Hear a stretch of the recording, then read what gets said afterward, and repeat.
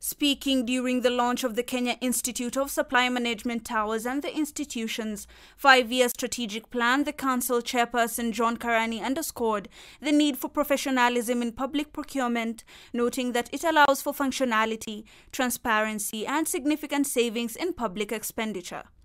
GSIM Towers will also play a critical role, as I said there before, which will house these three uh, institutions to make it a one-stop shop. The Kenya Institute of Supplies Examinations Board and its committees have been established, while revised Certified Procurement and Supply Professionals of Kenya, Associate in Procurement and Supply of Kenya syllabus has been launched as a significant step towards enhancing the capacity and sustainability of the sector. This narrative must change because everyone in that supply chain continuum must carry their load, must carry their burden, must be held accountable for the role they play. The Kenya Institute of Supply Management has further developed the Supply Chain Management Excellence Award and has set professional standards.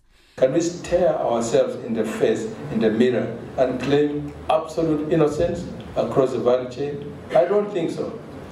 The institute is also establishing the Kenya School of Supply Chain Management, which is undergoing the registration process in line with Ministry of Education guidelines.